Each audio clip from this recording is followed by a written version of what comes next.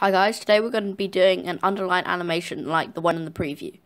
So there's two ways to go about it. One is a lot quicker but it doesn't look as good and the other takes slightly longer but it looks a lot better.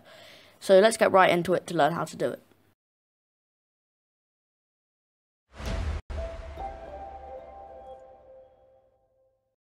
You just want to open up a new presentation in PowerPoint or just choose the object you are. So let me just format a text box really quickly and we're just going to turn this to Arial Black and just make this really huge.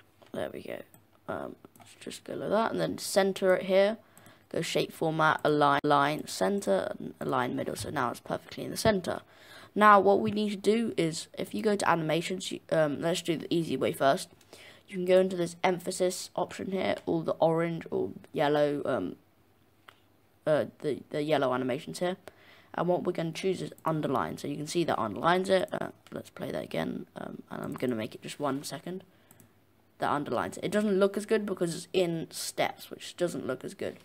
Now the other way of going around you might be happy with this. If you didn't know this existed this is might what be what you're looking for. Um, so yeah you can leave the video if you want now but like there's another way that's really good. This is probably going to ruin my audience retention but whatever.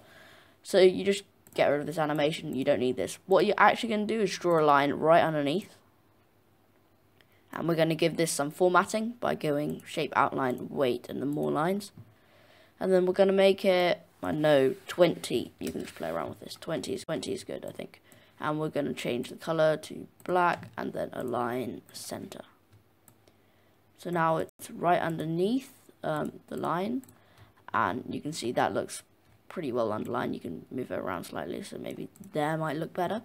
And what we're going to do is just go to animations and press wipe instead and change it, the direction from left so that it looks like it's underlining. You can play around with duration, so now it's a bit slower, so like that.